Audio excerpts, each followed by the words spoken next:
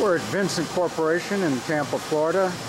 It's the 27th of January 2017 and we're in the, uh, these are ready to ship, screw presses, uh, getting ready to ship, and then a bunch that have been in the rental fleet that have been around.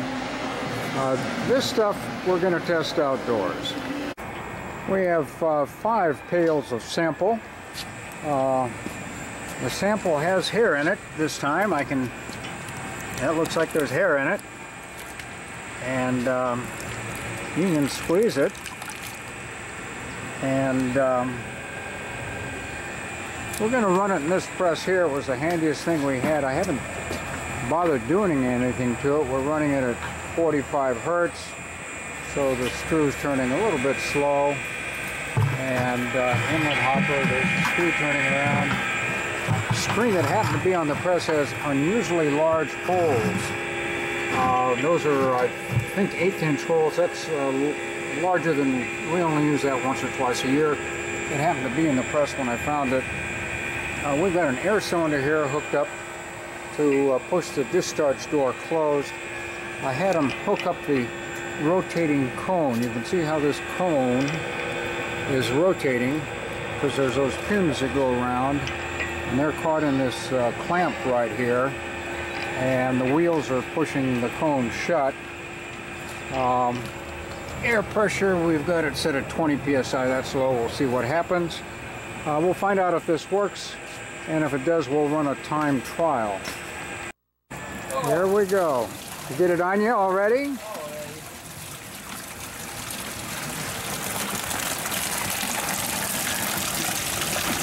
I left the big holes in the screen, or the screen with the big holes, and um, um, not a whole lot of solids in here. I,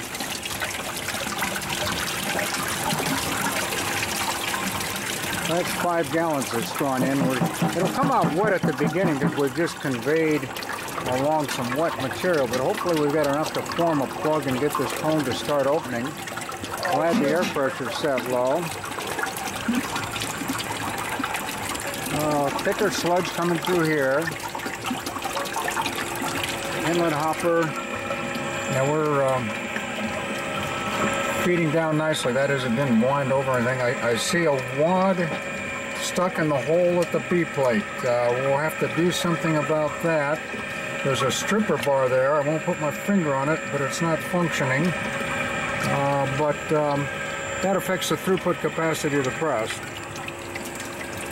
And um, this is what we got here. Okay, I'm going to try to ease open this discharge cone, see what we have here.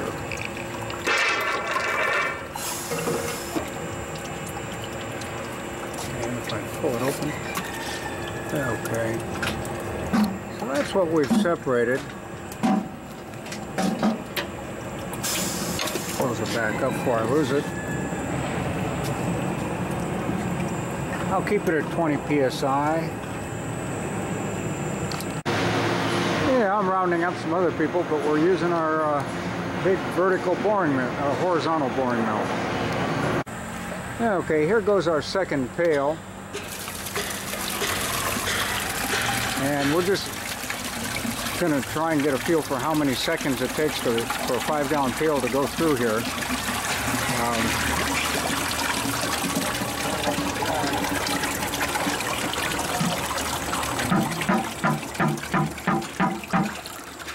Okay. Uh, give it a few more seconds and that's how long it takes.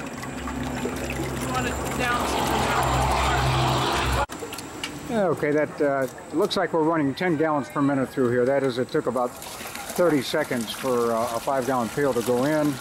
So we're trying another one. Okay, we've filled up all the way to the top of the screen. The press is getting full. And um, stand clear. Okay, here's the press liquor. Um, I don't see any hair in there. Um, no unusually large particles. And this may be what the customer wants. Okay, we confirmed uh, uh, 10 gallons per minute in this model uh, KP6 press running uh, a little bit on the slow speed, uh, with an extra large opening in the screen. Um, the press liquor is, we're getting some filtration here, a coarse filtration I would call it. Those openings are awfully big. We can go a lot smaller in the openings. I don't think it'll change anything. Okay, there goes our last bucket. Yuck. Looking at the screen action here.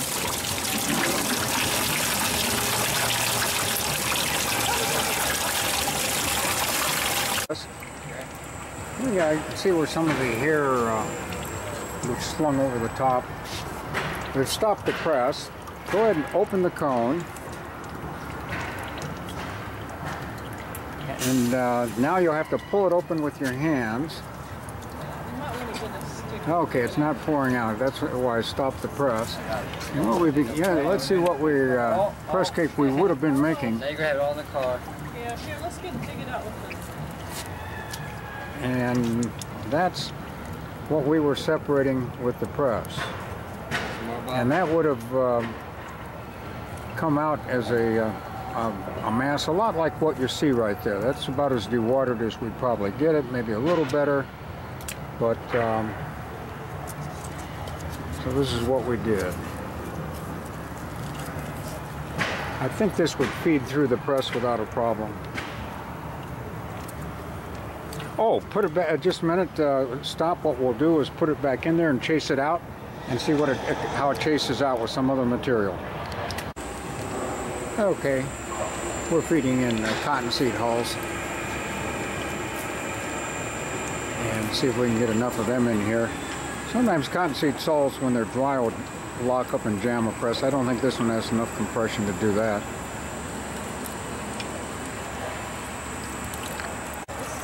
Okay, we're getting a little action here.